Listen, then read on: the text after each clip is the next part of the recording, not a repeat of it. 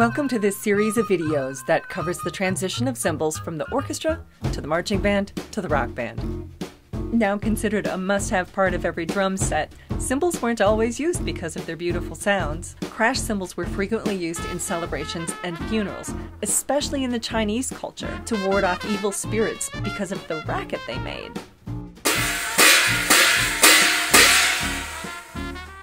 As manufacturing processes improved and the sounds of cymbals became more beautiful, they began to be incorporated into orchestral compositions as early as 1680.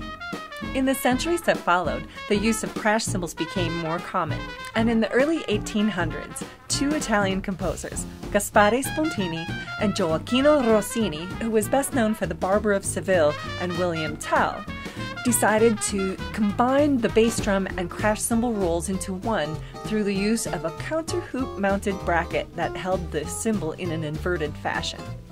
That effectively combined the roles of the bass drum player and the crash cymbal player. And by the way, Hector Berlioz, a French composer, thought this was a terrible idea and said so in his 1844 treatise on orchestration. Despite Berlioz's opinion, the use of bass drum mounted cymbals lived on in some marching bands. But the mounting bracket that required a performer to lift a heavy cymbal over the top of the bass drum wouldn't last. The task of performing these two instruments simultaneously became easier with a handheld wire beater. And believe it or not, both of these inventions take us one step closer to the modern drum set. Modifications to this bracket allowed the cymbal to be mounted parallel to the drum head.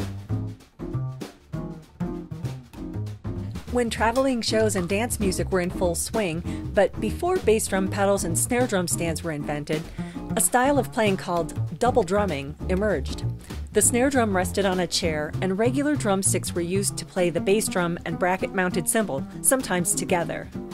In the next video, we'll see how the invention of the bass drum pedal and a device called the clanger became all the rage in the late 1800s. Thanks for watching, and I'll see you on the flip side.